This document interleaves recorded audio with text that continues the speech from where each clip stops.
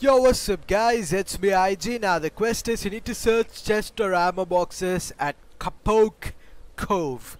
So hope I pronounce it uh, pronounced it right. Uh, well, there's a location by the way if you want to land. It is literally on top of uh, Creeky. Uh, so like next to the ice uh, location, ice biome.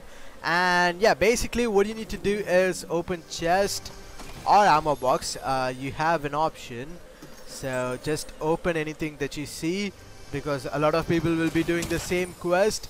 And yeah everyone uh, that's how you complete the quest.